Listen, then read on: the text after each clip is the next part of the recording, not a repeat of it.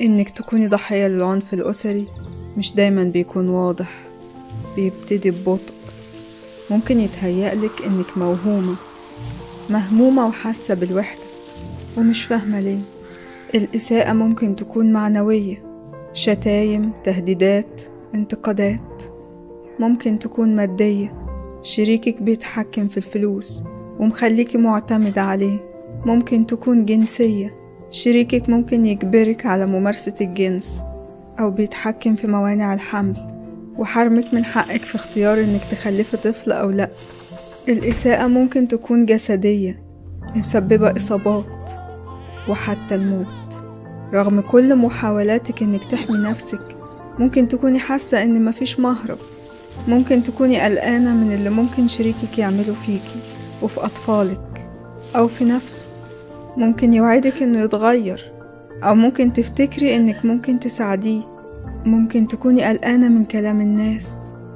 ممكن تكوني بتفكري إن الموضوع لازم يفضل سر.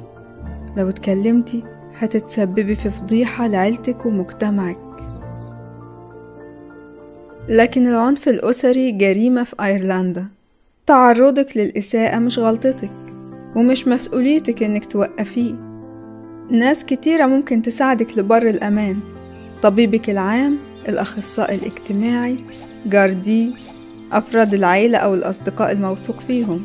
ملجأ المرأة الخط الساخن المجاني لمساعدة المرأة 24 ساعة أو خدمة العنف الأسري المحلية. انتي مش لوحدك.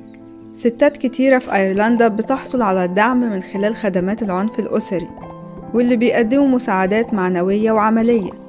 زي مثلا المحافظة على الأمان تربية الأطفال المصاحبة للمحكمة السكن وغير كده كتير.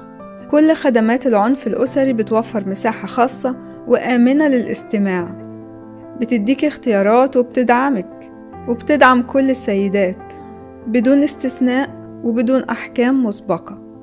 الأولوية هتكون لأمنك صحتك وسلامتك. وأيا ما كان اختيارك خدمات العنف الأسري هتكون معاكي وهتدعمك.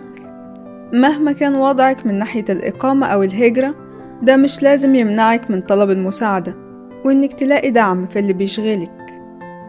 لو اللغة الإنجليزية صعبة عليكي خدمة الترجمة متاحة من خلال مساعدة المرأة وخدمة ترجمة خط اللغة. ممكن تكوني فاكرة إنك متورطة لدرجة ملهاش مخرج لكن بالمساعدة الصح أنت كمان. ممكن تلاقي طريق جديد.